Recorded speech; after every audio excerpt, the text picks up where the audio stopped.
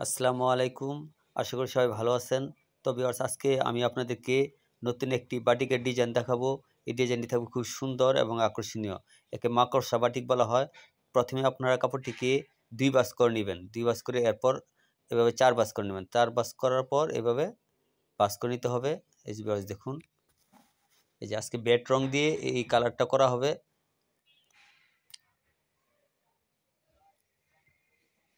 Viewers এভাবে বাস করে নিতে হবে, দেখুন।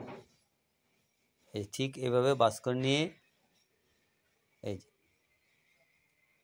একে মাকড়সা বাটিক বলা হয়। এই দেখুন। এই সুতা দিয়ে তারপরে এভাবে বাঁধতে হবে। এই যে আমরা একটু পর পর এভাবে ঘন ঘন করে সুতা দিয়ে বাদ দিয়ে নেব। এই যে তারপর আরেকটা বাদ দিব।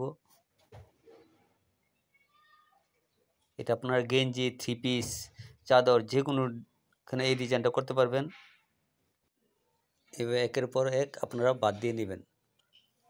এটাকে আজকে আমরা ব্যাট রং দিয়ে কালারটা করব এবং কীভাবে কালার করতে হবে এবং কালার করতে কী কী জিনিস লাগে সম্পূর্ণ আজকে আমি বুঝিয়ে দেব।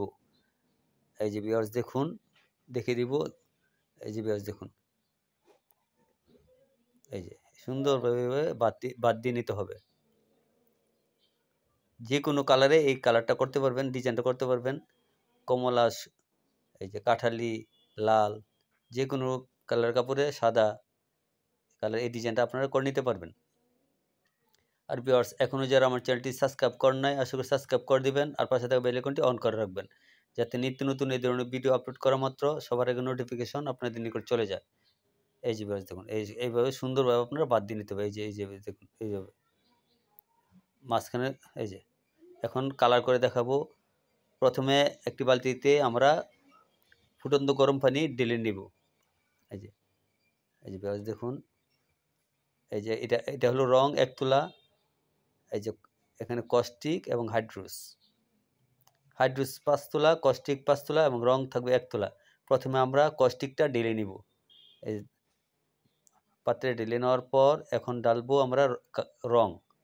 এই যে এটা ভায়োলেট রং, বেগুনি কালার এই যে এভাবে ব্যাট রং।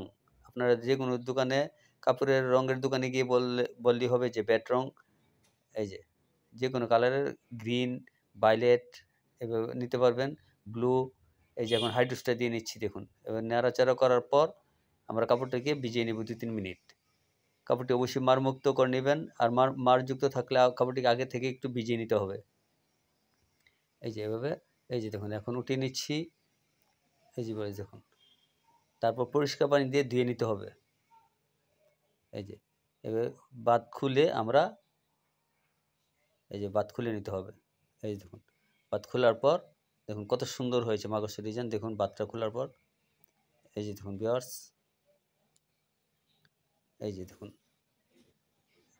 এই যে অনেক সুন্দর হয়েছে ডিজাইনটা। দেখুন বিয়ার্স এই যে, এই ধরনের আরও নিত্য নতুন ভিডিও পেতে আমার চ্যানেলটি আপনারা অবশ্যই সাবস্ক্রাইব করে রাখবেন। তবে আজ এ পর্যন্তই। সবাই ভালো থাকবেন। আল্লাহ হাফেজ।